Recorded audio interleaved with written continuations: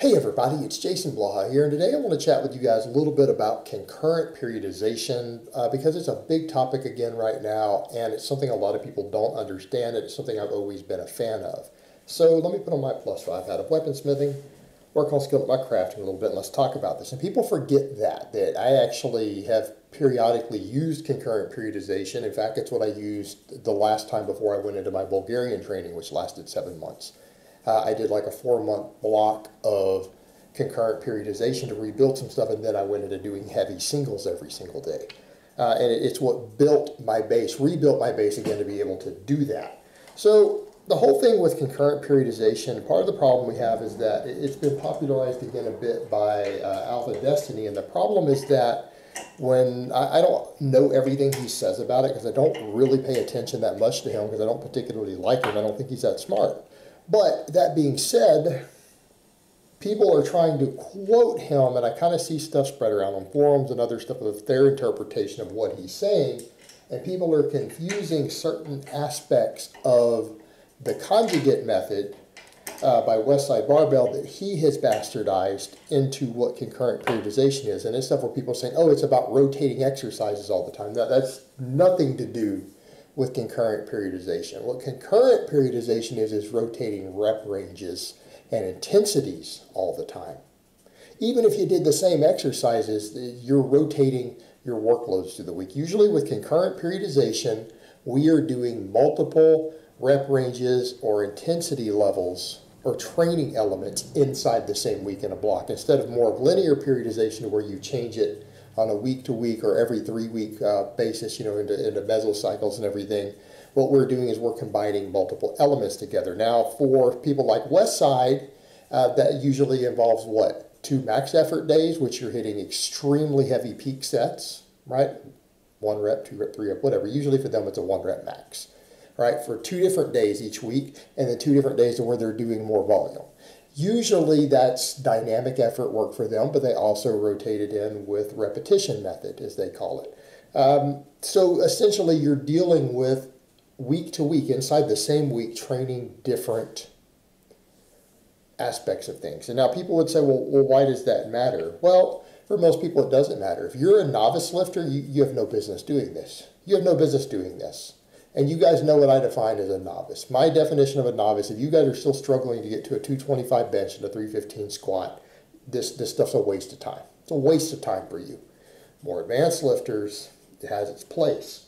But it's not for people who want to minimize training. And what I mean is the benefits of concurrent periodization exist for two groups of people. For in-season athletes, you need to be competition ready at all times.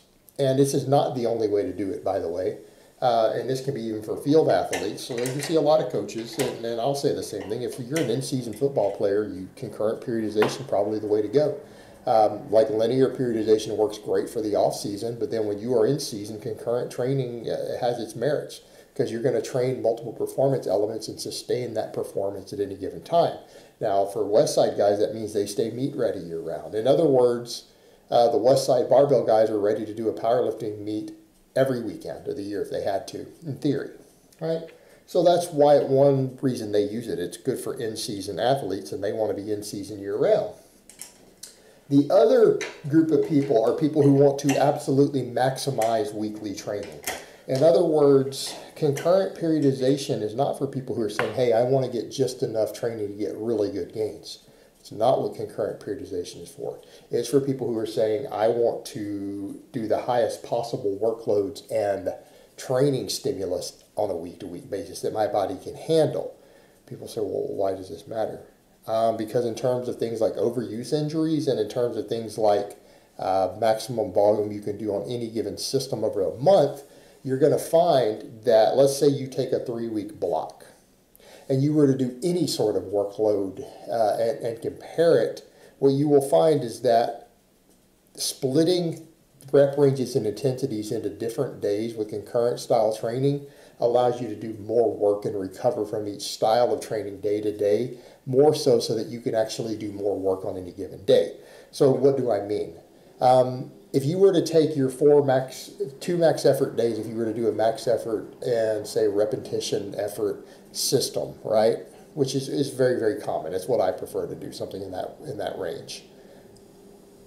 What ends up happening? If you were to try to do those uh, two of those max effort days, double them up each week, you're not going to be able to do as much workload on them. Like if you were to continue this for a month, what you're going to find is that the weights that you're hitting or the amount of, of peak sets you're going to be able to do is going to degrade because you're not allowing your nervous system to recover enough to keep hitting them at the rate that you're hitting them at the workload you're hitting them.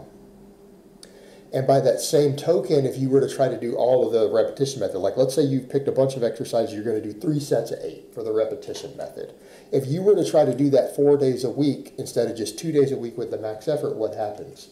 You're going to have too much metabolic fatigue that accumulates, and what you're going to find is that your performance is going to be less. In other words, you're not going to be able to, over a week to week basis, hit the same weights for that three by eight. So what ends up happening is that it allows you to run more frequency.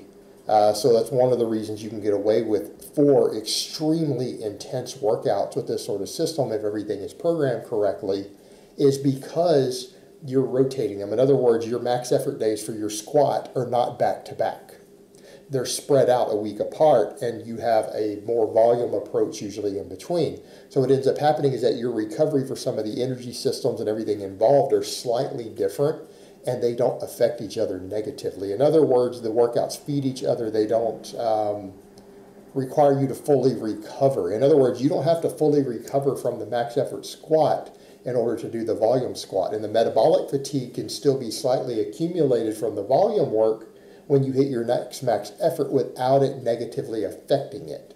So that lets you run a little more frequency combined with everything while still generating the highest workloads possible.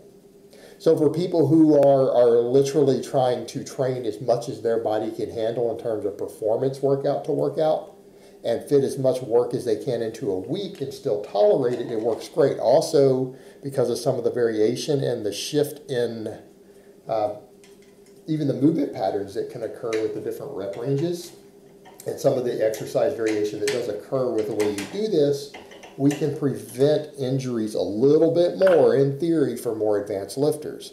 So what you're looking at here with concurrent periodization is a system of maximizing your training work through the week. So in other words, uh, it tends to work best for people who want to go ahead and train like four days a week with maximum workloads, right? Because that's that's a difference that people need to understand. It's one thing to train four days a week and have some lighter days in there.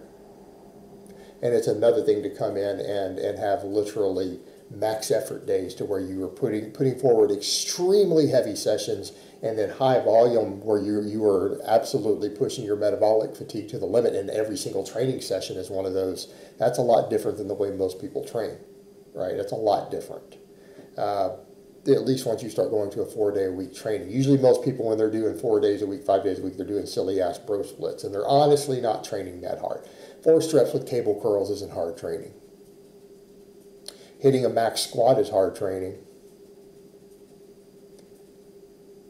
Doing a bunch of dynamic effort for the squat and the deadlift in the same session is hard training. You know, where you're doing eight to 10 sets of both or high volume on both exercises, squat, deadlift, and a good morning in the same workout, that's, that's, that's tough.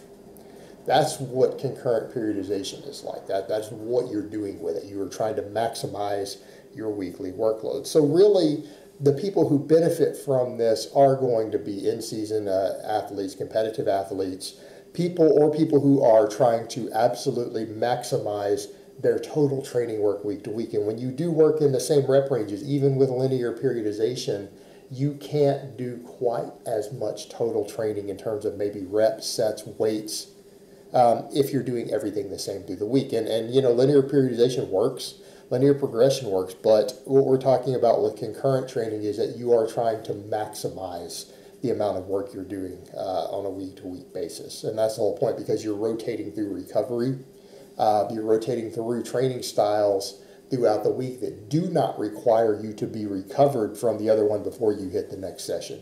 In other words, again, you are not recovered necessarily from your max effort squats by the time you're doing your repetition or your higher volume squats later in the week. or deadlifts or, or bench press or overhead press or rows or whatever you're doing. So the whole point there is that you're not actually recovering. You don't have to be in order to maximize performance on the other rep range. You actually don't have to be. And what you would find is that if you actually mixed the rep ranges and tried to replicate the same work while mixing them together over the four days, you would actually get the same thing. You, you would probably find that oh, after a few weeks, you won't be able to replicate the same performance that you would if you split them up. So that's the difference that we're dealing with. So you're not necessarily ever mixing rep ranges in the same workouts. But what we are doing is you're mixing rep ranges and uh, intensity levels and volumes, staggering them throughout the week.